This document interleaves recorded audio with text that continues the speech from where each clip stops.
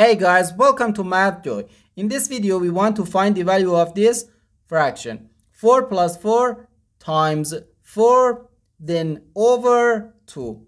Are you ready to solve? Let's go and get started.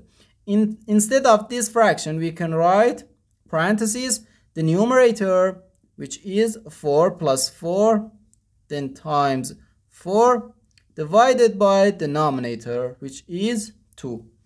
Now we have this parentheses and this division. According to the order of operations, which is PEMDAS, first we have to do parentheses, then exponents, then multiplication or division, and finally addition or subtraction. Remember that multiplication and division have equal priority and we have to work from left to right. And the same applies to addition and subtraction. So here, first we have to do this multiply, uh, excuse me, this parentheses. And inside this parentheses, we have uh, one addition and one multiplication. In PEMDAS, multiplication comes before addition.